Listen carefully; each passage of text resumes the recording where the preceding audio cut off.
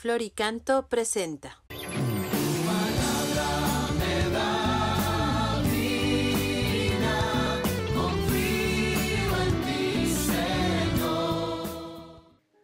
¿Tienes algunas dudas o preguntas sobre Jesús?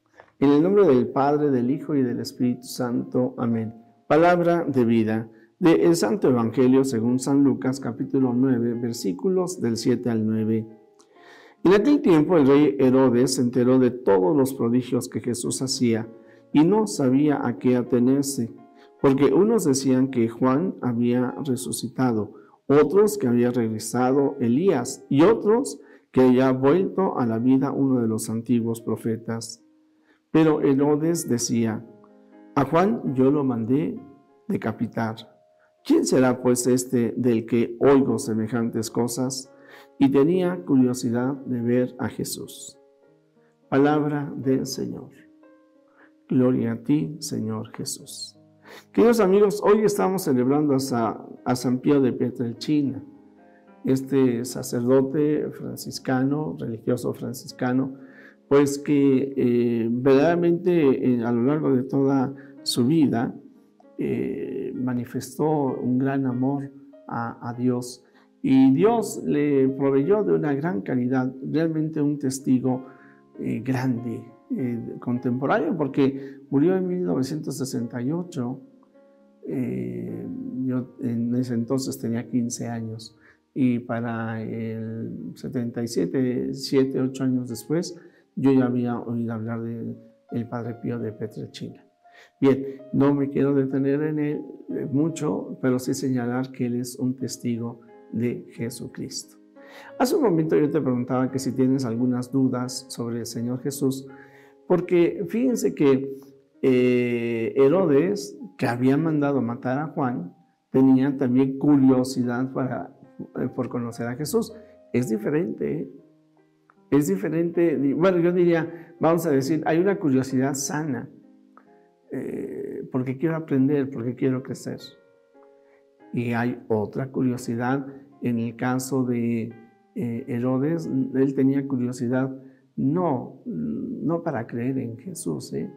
Eh, sino pues simplemente como un ser extraordinario. Y también un poco esa su creencia sustentada en mucha superstición. ¿Por qué le había mandado matar a Juan? El testigo, testigo del Señor Jesús.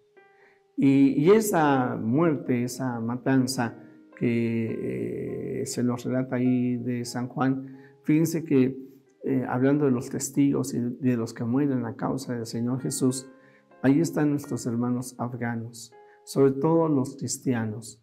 Eh, ustedes saben que durante pues, unos 20 años estuvo ahí metido Estados Unidos y tratando de pacificar eh, la región.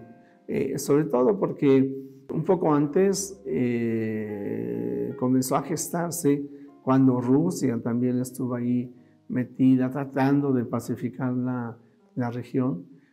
surgió un terrorista, Bin Laden, aquel que ocasionó la muerte y la caída de las Torres Gemelas en Estados Unidos. Pero impuso un gobierno dictatorial de eh, un radicalismo exacerbado en cuanto a la religión musulmana eh, y persecución y expulsión de muchos cristianos, de familias cristianas.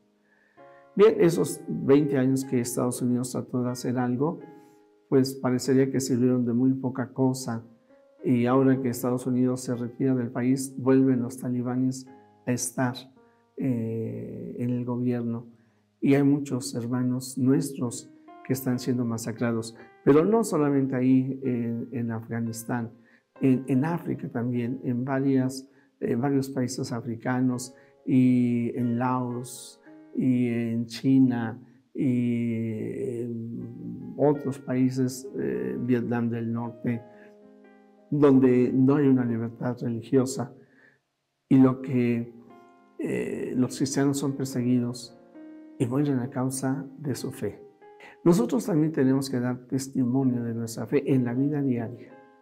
Tenemos que dejar que Cristo se haga presente en nuestras vidas. Y nuestro testimonio tiene que ser tan claro y verdaderamente nos tenemos que distinguir de aquellos que no conocen al Señor Jesús, que en muchos surja la curiosidad de saber, o el interés, por llamarle de una manera más positiva, el interés de conocer cuál es la causa, qué es lo que hace que nosotros nos mantengamos alegres, contentos en el amor, en el servicio, a pesar de las adversidades.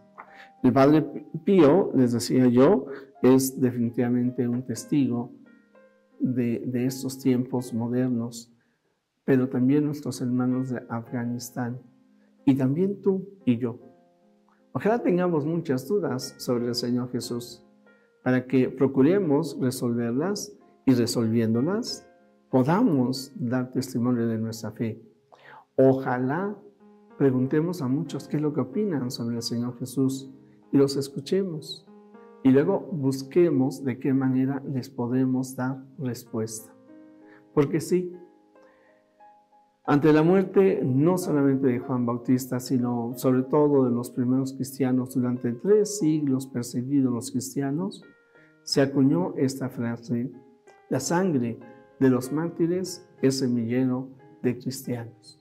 Seamos testigos del Señor Jesús, ya sea porque lo hacemos con nuestra vida ofrecida de manera cruenta o ya sea en el esfuerzo diario, como lo mencionábamos ayer, cargando nuestra cruz, la cruz de cada día, para dar testimonio de aquello que nosotros creemos, el anuncio gozoso del amor que nos ama del amor de Cristo que nos perdona, del amor del el Espíritu Santo que nos santifica y que la Santísima Trinidad nos invita a vivir en plenitud en la vida eterna. Jesús, que todos te conozcan y te amen es la única recompensa que quiero. La bendición de Dios Todopoderoso, Padre, Hijo y Espíritu Santo, descienda sobre ti, sobre tu familia, sobre México y el mundo entero.